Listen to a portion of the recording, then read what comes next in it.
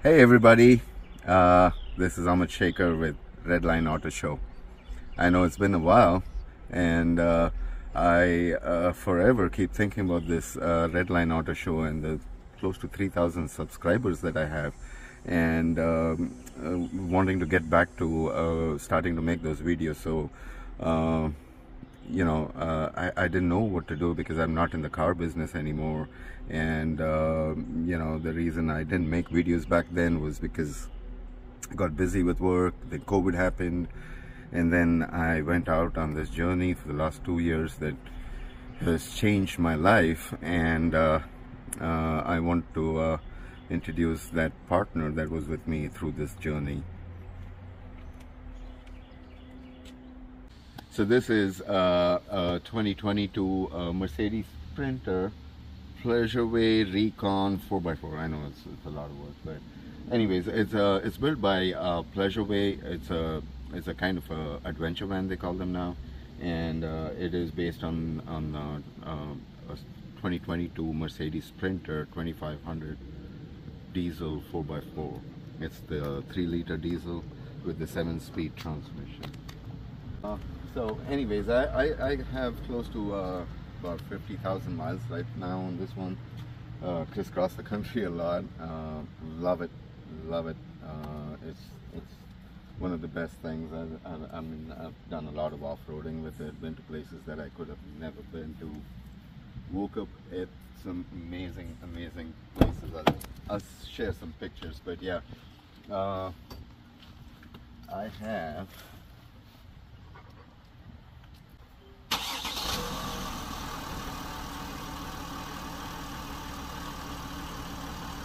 About 51,909 miles it. So uh, that's a lot of miles uh, since I've had it. Uh, not many issues, uh, honestly. Mm, just regular oil changes. Uh, it does have an inherent problem with uh, the regen stuff. It's kind of known. I don't want to get into it, but if you're a Sprinter van diesel owner you probably know or if you're going to get one you will know so. It does have uh, the adaptive cruise control along with uh, the regular cruise control uh, you know voice controls. It's got this fancy uh, touchscreen the MBUX uh, it's a it's a fantastic infotainment system uh, with all the all the features that come in. So I'm very happy with with what it has to offer in terms of uh, you know uh, the luxury and safety features. The app, especially the navigation, is fantastic. Actually, uh, um, very intuitive. It works off of Google. Uh, seems like, uh, especially if you're going uh, across the country and you know navigating on this map seems to be much easier than navigating on, on Google uh, maps. Anyways, this is uh, both the seats are heated, memory uh, on both seats. The memory is uh, really convenient. I'll show you why.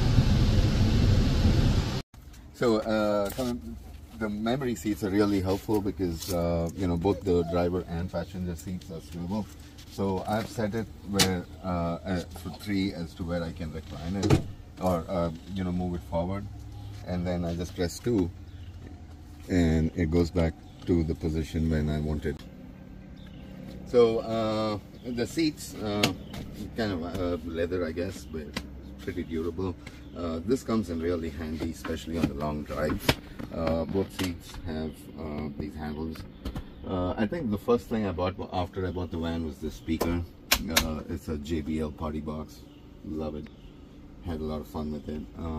other than that, mostly what you see here came with the van. as I bought it, uh, comes with the this fridge freezer. Uh, no complaints. No complaints. Uh, honestly, love it.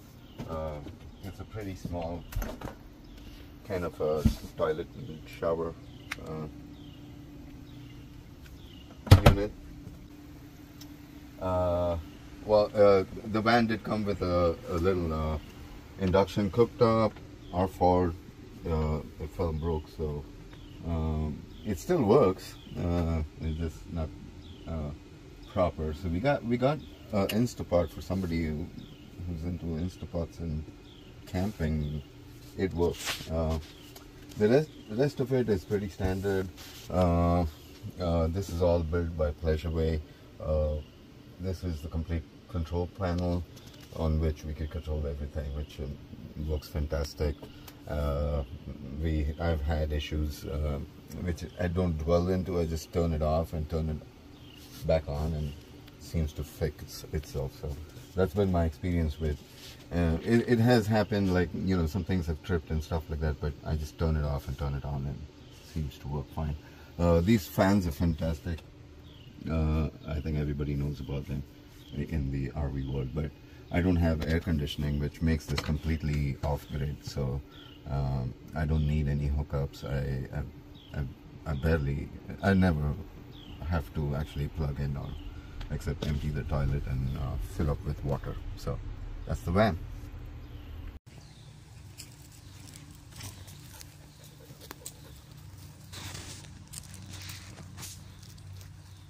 Uh, coming back here, uh, this is the space that we have, me and Jax and uh Jenny who travels with me, uh, my partner. Uh, so this is our luggage space. we do have two, two scooters that we carry along, which is very useful when we park. But um, yeah, this is the space is pretty limited, but yeah, we spent a lot of time in, in this van.